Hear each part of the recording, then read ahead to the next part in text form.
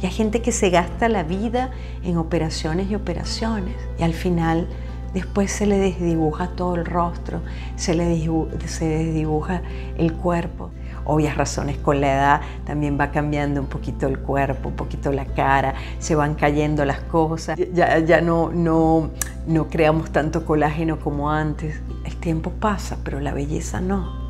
Uno, uno puede buscar esa belleza madura, esa belleza con, con serenidad, con, con, paz interior, con, con felicidad, pero no de manera obsesiva.